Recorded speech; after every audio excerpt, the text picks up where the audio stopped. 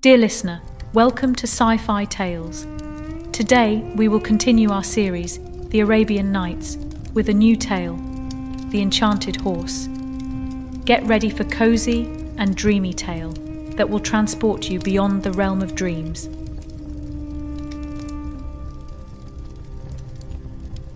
It was the feast of the new year, the oldest and most splendid of all the feasts in the kingdom of Persia, and the day had been spent by the king in the city of Shiraz, taking part in the magnificent spectacles prepared by his subjects to do honour to the festival.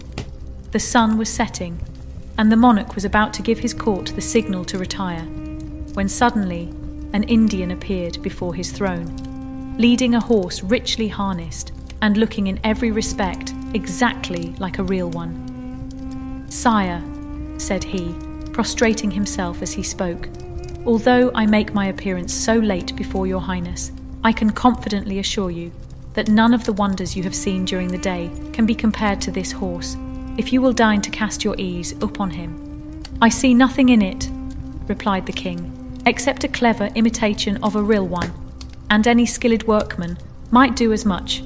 Sire, returned the Indian, it is not of his outward form that I would speak, but of the use that I can make of him. I have only to mount him, and to wish myself in some special place, and no matter how distant it may be, in a very few moments I shall find myself there. It is this, sire, that makes the horse so marvellous, and if your highness will allow me, you can prove it for yourself. The king of Persia who was interested in everything out of the common and had never before come across a horse with such qualities, bade the Indian mount the animal and show what he could do.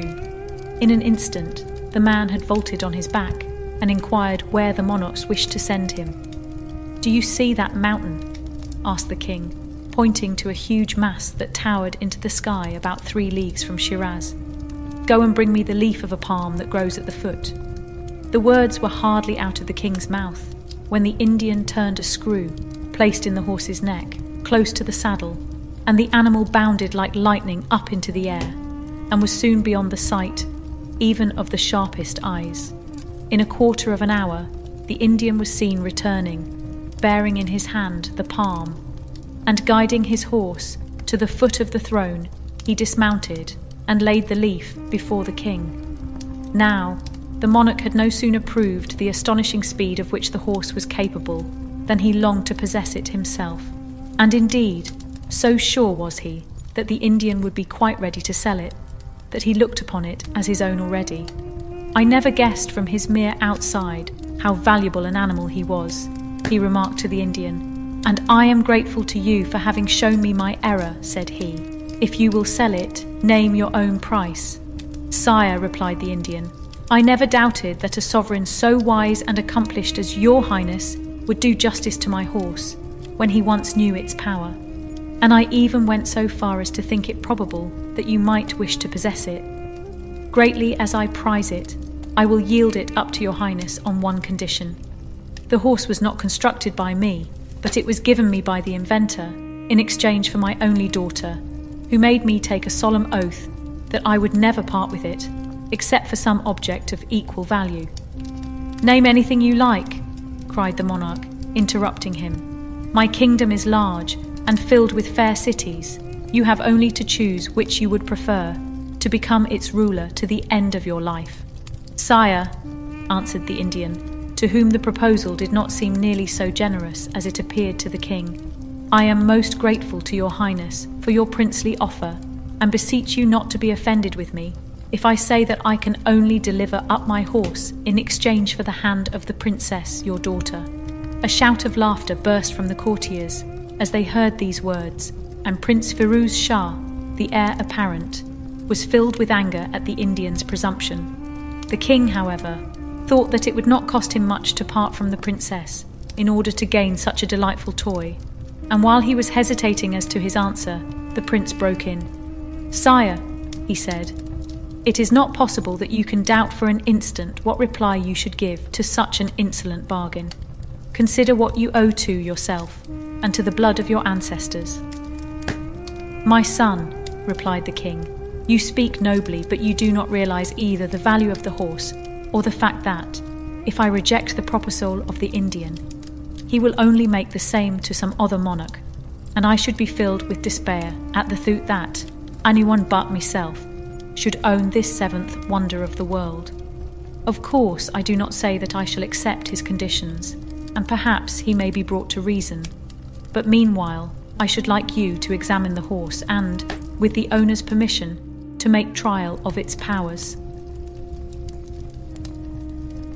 The Indian, who had overheard the king's speech, thought that he saw in it signs of yielding to his proposal, so he joyfully agreed to the monarch's wishes and came forward to help the prince to mount the horse and show him how to guide it. But before he had finished, the young man turned the screw and was soon out of sight.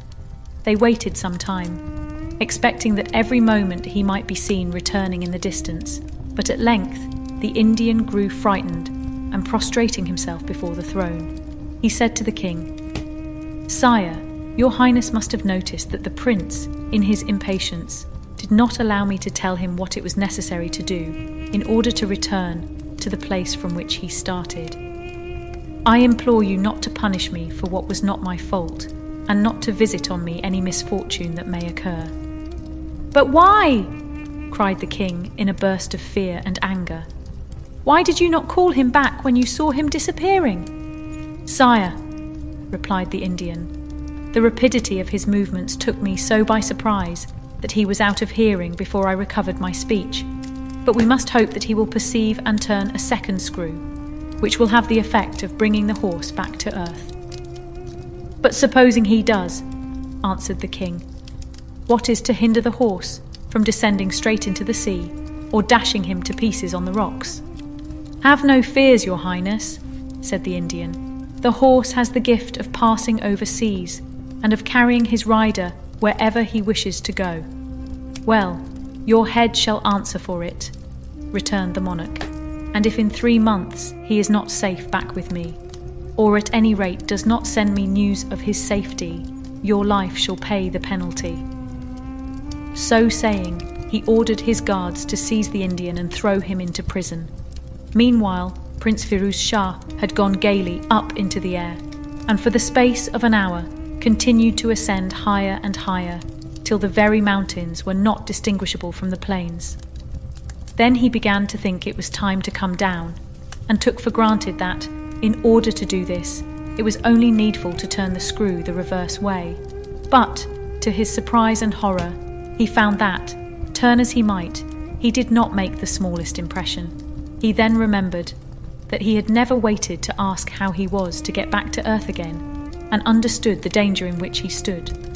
Luckily, he did not lose his head, and set about examining the horse's neck with great care, till at last, to his intense joy, he discovered a tiny little peg, much smaller than the other, close to the right ear.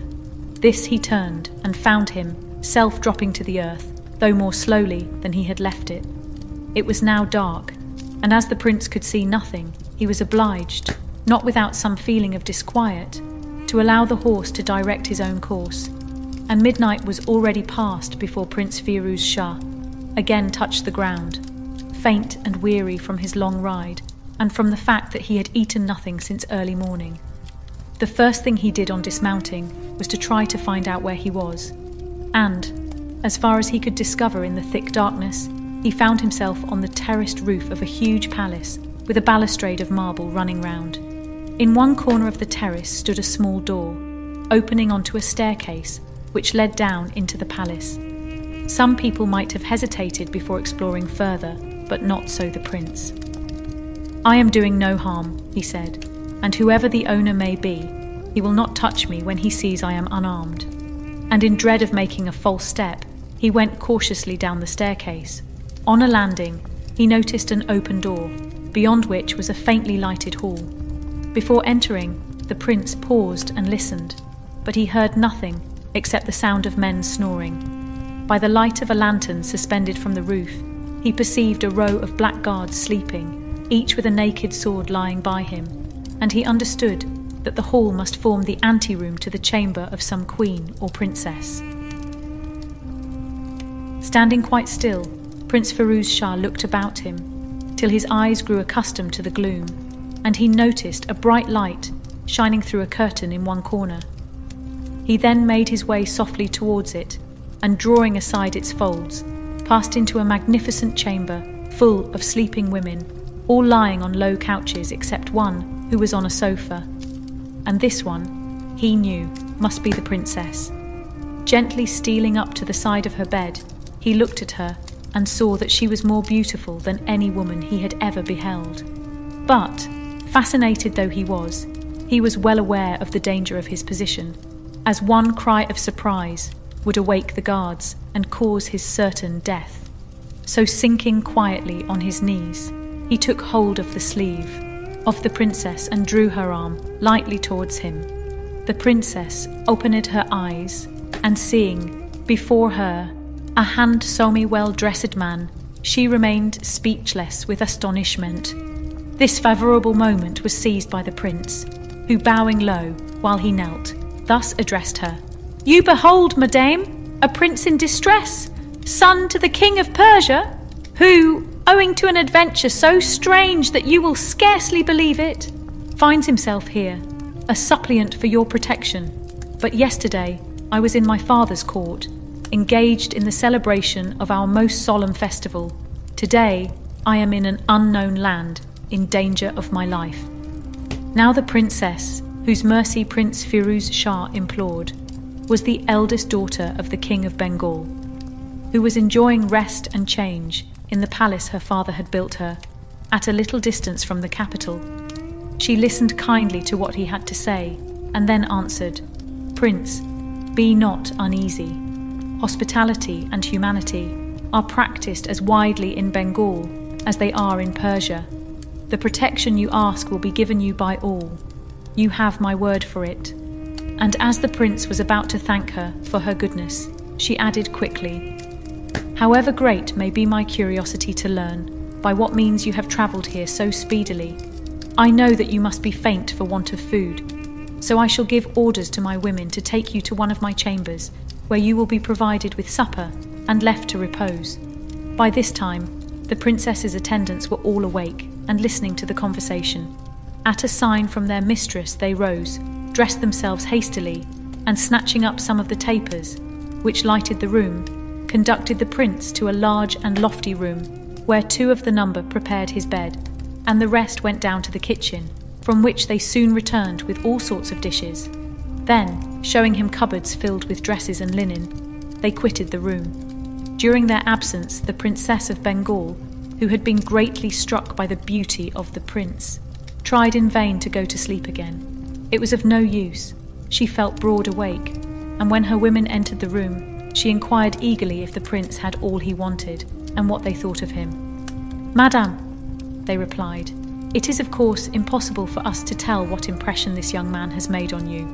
For ourselves, we think you would be fortunate if the king your father should allow you to marry anyone so amiable. Certainly, there is no one in the court of Bengal who can be compared with him. These flattering observations were by no means displeasing to the princess, but as she did not wish to betray her own feelings, she merely said, You are all a set of chatterboxes. Go back to bed and let me sleep. When she dressed the following morning, her maids noticed that, contrary to her usual habit, the princess was very particular about her toilette and insisted on her hair being dressed two or three times over. For, she said to herself, if my appearance was not displeasing to the prince when he saw me in the condition I was, how much more will he be struck with me when he beholds me with all my charms? Then she placed in her hair the largest and most brilliant diamonds she could find, with a necklace, bracelets, and girdle, all of precious stones. And over her shoulders, her ladies put a robe of the richest stuff in all the Indies, that no one was allowed to wear except members of the royal family. When she was fully dressed according to her wishes, she sent to know if the Prince of Persia was awake and ready to receive her, as she desired to present herself before him. When the princess's messenger entered his room, Prince Firuz Shah was in the act of leaving it to inquire if he might be allowed to pay his homage to her mistress. But on hearing the princess's wishes, he at once gave way. Her will is my law, he said. I am only here to obey her orders. In a few moments, the princess herself appeared, and after the usual compliments had passed between them, the princess sat down on a sofa and began to explain to the prince her reasons for not giving him an audience in her own apartments. Had I done so, she said, we might have been interrupted at any hour by the chief of the eunuchs, who has the right to enter whenever it pleases him, whereas this is forbidden ground. I am all impatience to learn the wonderful accident which has procured the pleasure of your arrival, and that is why I have come to you here, where no one can intrude upon us. Begin then, I entreat you, without delay. So the prince began at the beginning and told all the story of the festival of Nedruz held yearly in Persia and of the splendid spectacles celebrated in its honour. But when he came to the enchanted horse, the princess declared that she could never have imagined anything half so surprising. Well, then, continued the prince, you can easily understand how the king, my father, who has a passion for all curious things, was seized with a violent desire to possess this horse and asked the Indian what sum he would take for it. The man's answer was absolutely absurd, as you will agree, when I tell you that it was nothing less than the hand of the princess, my sister. But though all the bystanders laughed and mocked, and I was beside myself with rage, I saw to my despair that my father could not make up his mind to treat the insolent proposal as it deserved. I tried to argue with him, but in vain. He only begged me to examine the horse with a view, as I quite understood, of making me more sensible of its value. To please my father, I mounted the horse, and without waiting for any instructions from the Indian, turned the peg as I had seen him do. In an instant, I was soaring upwards, much quicker than an arrow could fly, and I felt as if I must be getting so near the sky that I should soon hit my head against it. I could see nothing beneath me, and for some time was so confused that I did not even know in what direction I was travelling. At last, when it was growing dark, I found another screw, and on turning it, the horse began slowly to sink towards the earth. I was forced to trust to chance and to see what fate had in store, and it was already past midnight when I found myself on the roof of this palace. I crept down the little staircase and made directly for a light which I perceived through an open door.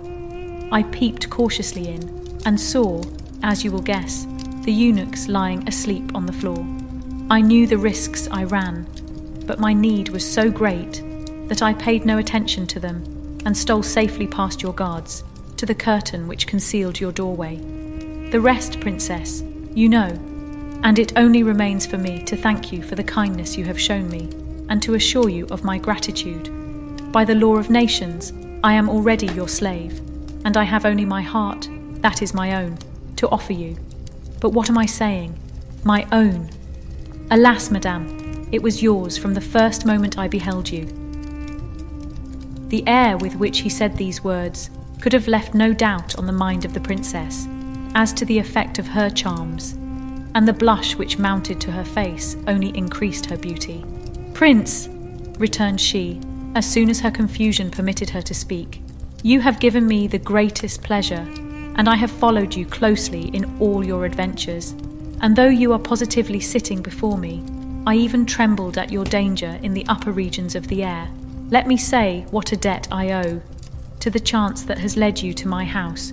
You could have entered none which would have given you a warmer welcome. As to your being a slave, of course that is merely a joke, and my reception must itself have assured you that you are as free here as at your father's court. As to your heart, continued she in tones of encouragement, I'm quite sure that must have been disposed of long ago to some princess who is well worthy of it, and I could not think of being the cause of your unfaithfulness to her. Prince Firuz Shah was about to protest that there was no lady with any prior claims, but he was stopped by the entrance of one of the princess's attendants, who announced that dinner was served, and after all, Neither was sorry for the interruption. Dinner was laid in a magnificent apartment, and the table was covered with delicious fruits. While during the repast, richly dressed girls sang softly and sweetly to stringed instruments. After the prince and princess had finished, they passed into a small room hung with blue and gold, looking out into a garden stocked with flowers and arbutus trees, quite different from any that were to be found in Persia. Princess, observed the young man, till now I had always believed that Persia could boast finer palaces and more lovely gardens than any kingdom upon earth. But my eyes have been opened, and I begin to perceive that, wherever there is a great king, he will surround himself with buildings worthy of him. Prince, replied the Princess of Bengal, I have no idea what a Persian palace is like, so I am unable to make comparisons. I do not wish to depreciate my own palace, but I can assure you that it is very poor beside that of the king, my father, as you will agree when you have been there to greet him, as I hope you will shortly do. Now the princess hoped that, by bringing about a meeting between the prince and her father, the king would be so struck with the young man's distinguished air and fine manners that he would offer him his daughter to wife. But the reply of the Prince of Persia to her suggestion was not quite what she wished.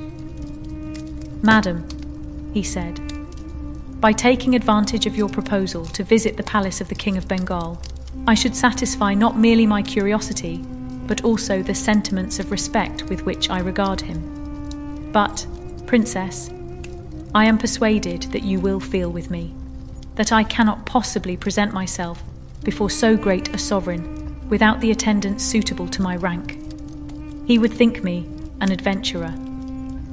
If that is all, she answered, you can get as many attendants here as you please. There are plenty of Persian merchants. And as for money, my treasury is always open to you. Take what you please. Prince Firuz Shah guessed what prompted so much kindness on the part of the princess and was much touched by it. Still, his passion, which increased every moment, did not make him forget his duty. So he replied without hesitation I do not know, Princess, how to express my gratitude for your obliging offer which I would accept at once if it were not for the recollection of all the uneasiness the king my father must be suffering on my account. I should be unworthy indeed of all the love he showers upon me if I did not return to him at the first possible moment. For, while I am enjoying the society of the most amiable of all princesses, he is, I am quite convinced, plunged in the deepest grief, having lost all hope of seeing me again. I am sure you will understand my position and will feel that to remain away one instant longer than is necessary would not only be ungrateful on my part, but perhaps even a crime. For how do I know if my absence may not break his heart? But, continued the prince, having obeyed the voice of my conscience, I shall count the moments when, with your gracious permission, I may present myself before the King of Bengal, not as a wanderer, but as a prince to implore the favour of your hand. My father has always informed me that in my marriage I shall be left quite free, but I am persuaded that I have only to describe your generosity for my wishes to become his own. The Princess of Bengal was too reasonable not to accept the explanation offered by Prince Firuz Shah, but she was much disturbed at his intention of departing at once, for she feared that, no sooner had he left her than the impression she had made on him would fade away. So she made one more effort to keep him, and after assuring him that she entirely approved of his anxiety to see his father, begged him to give her a day or two more of his company. In common politeness, the prince could hardly refuse this request, and the princess set about inventing every kind of amusement for him, and succeeded so well that two months slipped by almost unnoticed in balls, spectacles, and in hunting, of which, when unattended by danger, the princess was passionately fond. But at last, one day, he declared seriously that he could neglect his duty no longer, and entreated her to put no further obstacles in his way, promising at the same time to return, as soon as he could, with all the magnificence due both to her and to himself. Princess, he added, it may be that in your heart You class me with those false lovers whose devotion cannot stand the test of absence. If you do, you wrong me, and were it not for fear of offending you, I would beseech you to come with me, for my life can only be happy when passed with you. As for your reception at the Persian court, it will be as warm as your merits deserve. And as for what concerns the King of Bengal, he must be much more indifferent to your welfare than you have led me to believe if he does not give his consent to our marriage. The princess could not find words in which to reply to the arguments of the Prince of Persia, but her silence and her downcast eyes spoke for her, and declared that she had no objection to accompanying him on his travels. The only difficulty that occurred to her was that Prince Firuz Shah did not know how to manage the horse, and she dreaded lest they might find themselves in the same plight as before. But the prince soothed her fears so successfully that she soon had no other thought than to arrange for their flight so secretly that no one in the palace should suspect it. This was done, and early the following morning, when the whole palace was wrapped in sleep, she stole up onto the roof, where the prince was already awaiting her, with his horse's head towards Persia. He mounted first and helped the princess up behind. Then, when she was firmly seated, with her hands holding tightly to his belt, he touched the screw, and the horse began to leave the earth quickly behind him. He travelled with his accustomed speed, and Prince Firuz Shah guided him so well that in two hours and a half from the time of starting, he saw the capital of Persia lying beneath him. He determined to alight neither in the great square from which he had started, nor in the Sultan's palace, but in a country house at a little distance from the town. Here he showed the princess a beautiful suite of rooms and begged her to rest, while he informed his father of their arrival and prepared a public reception worthy of her rank. Then he ordered a horse to be saddled and set out all the way through the streets, he was welcomed with shouts of joy by the people, who had long lost all hope of seeing him again. On reaching the palace, he found the Sultan surrounded by his ministers, all clad in the deepest mourning, and his father almost went out of his mind with surprise and delight at the mere sound of his son's voice. When he had calmed down a little, he begged the prince to relate his adventures. The prince at once seized the opening thus given him and told the whole story of his treatment by the Princess of Bengal, not even concealing the fact that she had fallen in love with him.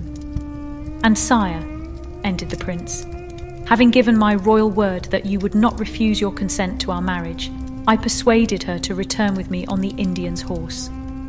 I have left her in one of your highness's country houses, where she is waiting anxiously to be assured that I have not promised in vain. As he said this, the prince was about to throw himself at the feet of the Sultan, but his father prevented him, and embracing him again, said eagerly, My son, not only do I gladly consent to your marriage with the Princess of Bengal, but I will hasten to pay my respects to her, and to thank her in my own person for the benefits she has conferred on you. I will then bring her back with me and make all arrangements for the wedding to be celebrated today. So the Sultan gave orders that the habits of mourning worn by the people should be thrown off, and that there should be a concert of drums, trumpets, and cymbals. Also, that the Indian should be taken from prison and brought before him. His commands were obeyed, and the Indian was led into his presence, surrounded by guards. I have kept you locked up, said the Sultan, so that in case my son was lost, your life should pay the penalty. He has now returned, so take your horse and begone forever. The Indian hastily quitted the presence of the Sultan, and when he was outside, he inquired of the man who had taken him out of prison where the prince had really been all this time, and what he had been doing. They told him the whole story, and how the Princess of Bengal was even then awaiting in the country palace the consent of the Sultan, which at once put into the Indian's head a plan of revenge for the treatment he had experienced. Going straight to the country house, he informed the doorkeeper, who was left in charge, that he had been sent by the Sultan and by the Prince of Persia to fetch the princess on the enchanted horse and to bring her to the palace. The doorkeeper knew the Indian by sight and was, of course, aware that nearly three months before he had been thrown into prison by the Sultan. And seeing him at liberty, the man took for granted that he was speaking the truth and made no difficulty about leading him before the Princess of Bengal. While on her side, hearing that he had come from the prince, the lady gladly consented to do what he wished. The Indian, delighted with the success of his skemi, mounted the horse, assisted the princess to mount behind him, and turned the peg at the very moment that the prince was leaving the palace in Shiraz for the country house, followed closely by the sultan and all the court. Knowing this, the Indian deliberately steered the horse right above the city in order that his revenge for his unjust imprisonment might be all the quicker and sweeter. When the Sultan of Persia saw the horse and its riders, he stopped short with astonishment and horror, and broke out into oaths and curses, which the Indian heard quite unmoved, knowing that he was perfectly safe from pursuit. But mortified and furious as the Sultan was, his feelings were nothing to those of Prince Firuz Shah when he saw the object of his passionate devotion being borne rapidly away. And while he was struck speechless with grief and remorse at not having guarded her better, she vanished swiftly out of his sight. What was he to do? Should he follow his father into the palace and there give reins to his despair? Both his love and his courage alike forbade it, and he continued his way to the palace. The sight of the prince showed the doorkeeper of what folly he had been guilty, and flinging himself at his master's feet, implored his pardon. Rise, said the prince. I am the cause of this misfortune, and not you. Go and find me the dress of a dervish, but beware of saying it is for me. At a short distance from the country house, a convent of dervishes was situated, and the superior, or Sheikh, was the doorkeeper's friend. So, by means of a false story, made up on the spur of the moment, it was easy enough to get hold of a dervish's dress, which the prince at once put on instead of his own. Disguised like this and concealing about him a box of pearls and diamonds he had intended as a present to the princess, he left the house at nightfall, uncertain where he should go, but firmly resolved not to return without her. Meanwhile, the Indian had turned the horse in such a direction that, before many hours had passed, it had entered a wood close to the capital of the kingdom of Kashmir. Feeling very hungry, and supposing that the princess also might be in want of food, he brought his steed down to the earth and left the princess in a shady place, on the banks of a clear stream. At first, when the princess had found herself alone, the idea had occurred to her of trying to escape and hide herself. But as she had eaten scarcely anything since she had left Bengal, she felt she was too weak to venture far and was obliged to abandon her design. On the return of the Indian with meats of various kinds, she began to eat voraciously and soon had regained sufficient courage to reply with spirit to his insolent remarks. Goaded by his threats, she sprang to her feet, calling loudly for help, and luckily her cries were heard by a troop of horsemen who rode up to inquire what was the matter. Now the leader of these horsemen was the Sultan of Kashmir, returning from the chase, and he instantly turned to the Indian to inquire who he was and whom he had with him. The Indian rudely answered that it was his wife, and there was no occasion for anyone else to interfere between them. The princess, who, of course, was ignorant of the rank of her deliverer, denied altogether the Indian's story. My lord, she cried. Whoever you may be, put no faith in this impostor. He is an abominable magician, who has this day torn me from the Prince of Persia, my destined husband, and has brought me here, on this enchanted horsey.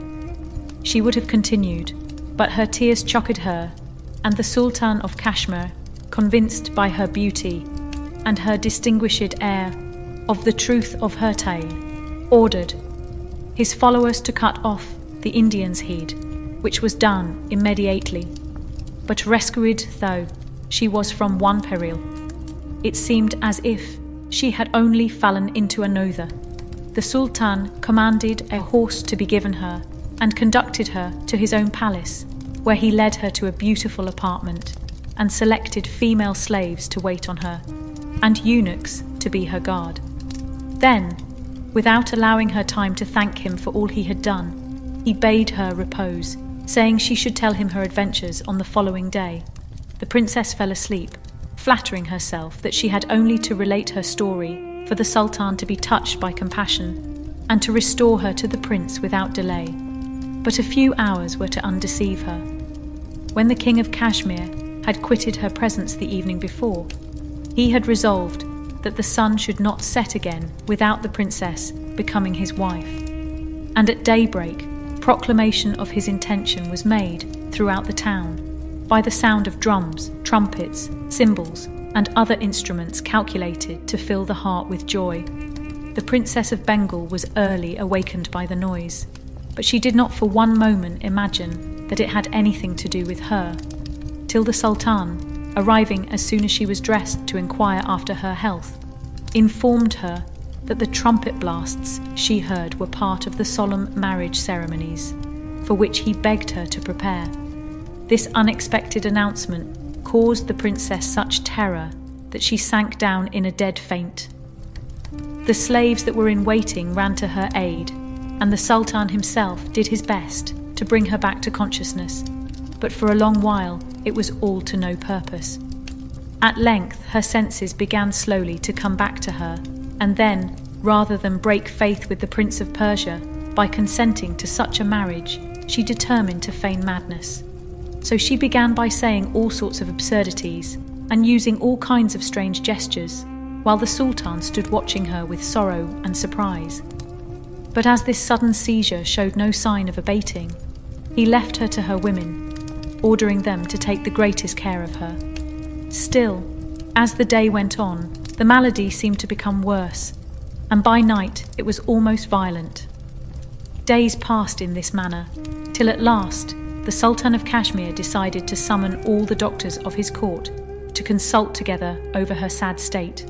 Their answer was that madness is of so many different kinds that it was impossible to give an opinion on the case without seeing the princess so the Sultan gave orders that they were to be introduced into her chamber, one by one, every man according to his rank.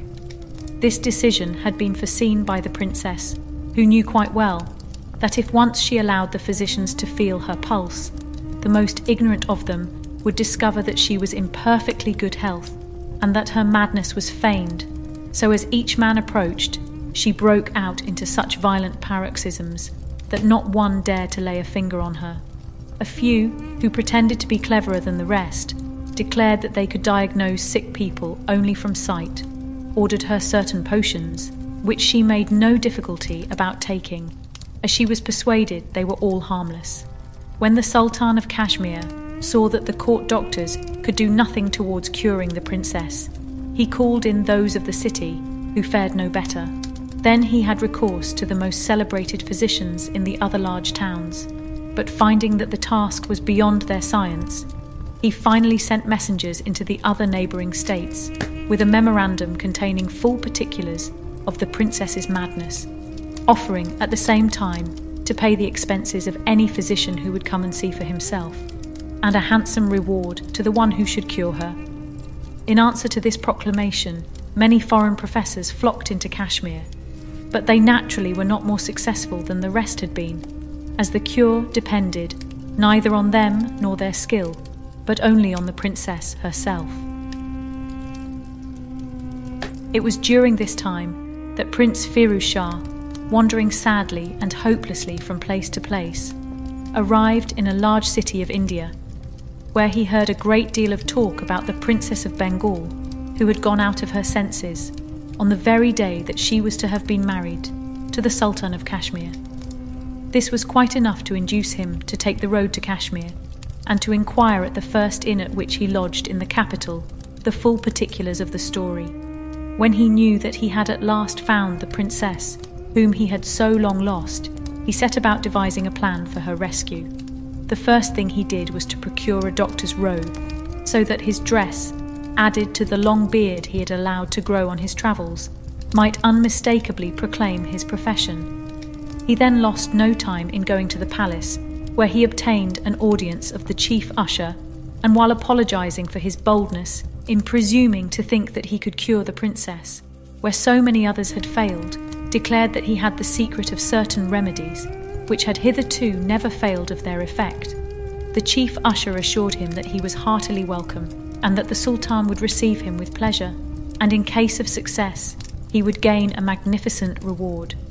When the Prince of Persia, in the disguise of a physician, was brought before him, the Sultan wasted no time in talking, beyond remarking that the mere sight of a doctor threw the princess into transports of rage. He then led the prince up to a room under the roof, which had an opening through which he might observe the princess without himself being seen.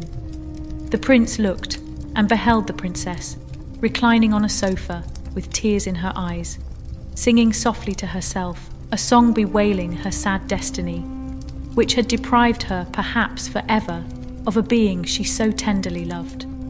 The young man's heart beat fast as he listened, for he needed no further proof that her madness was feigned, and that it was love of him which had caused her to resort to this species of trick. He softly left his hiding place and returned to the Sultan, to whom he reported that he was sure from certain signs that the princess's malady was not incurable, but that he must see her and speak with her alone. The Sultan made no difficulty in consenting to this, and commanded that he should be ushered in to the princess's apartment.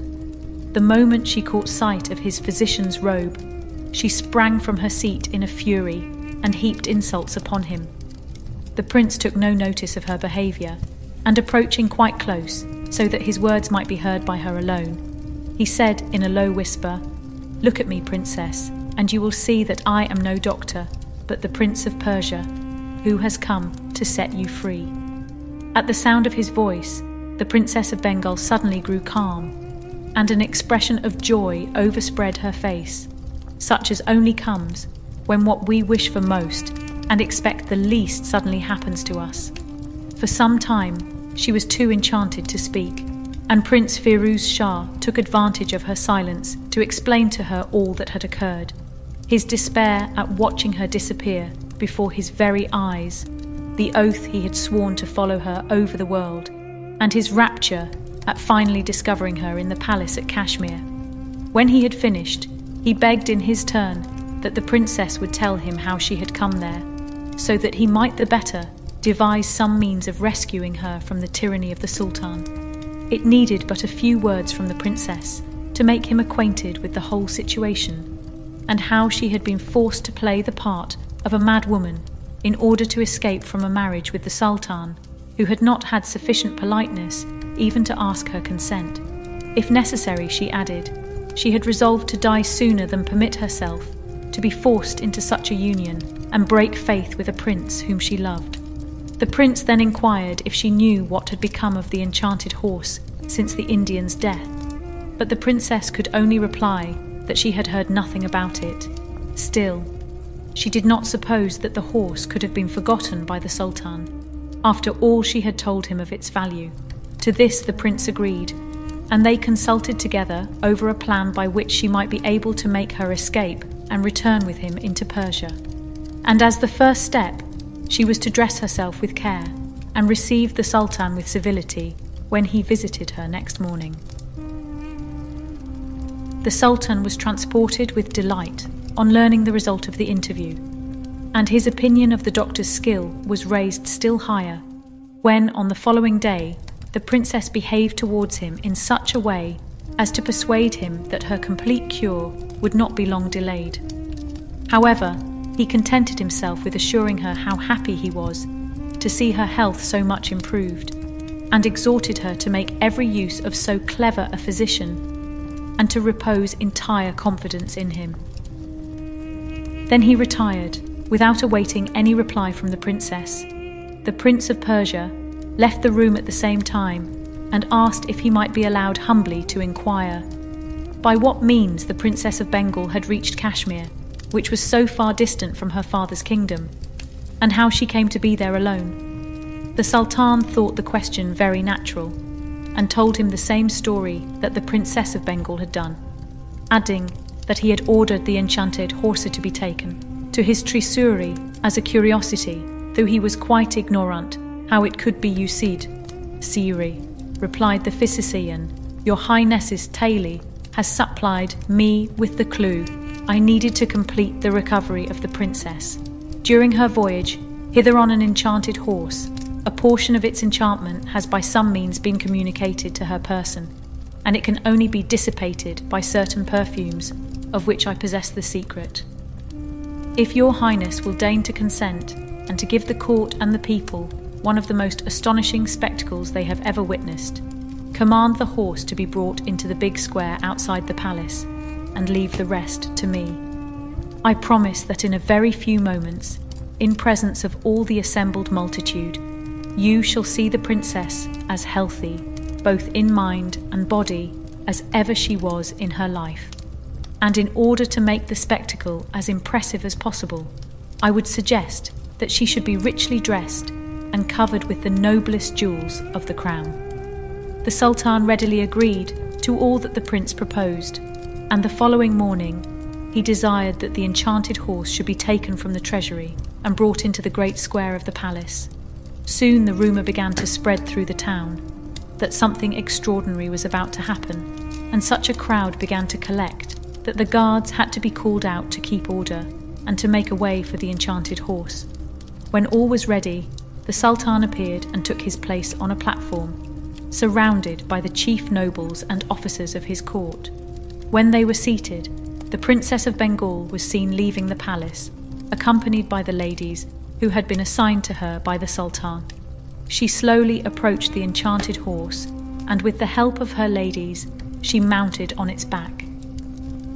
Directly she was in the saddle, with her feet in the stirrups and the bridle in her hand, the physician placed around the horse some large braziers, full of burning coals, into each of which he threw a perfume composed of all sorts of delicious scents.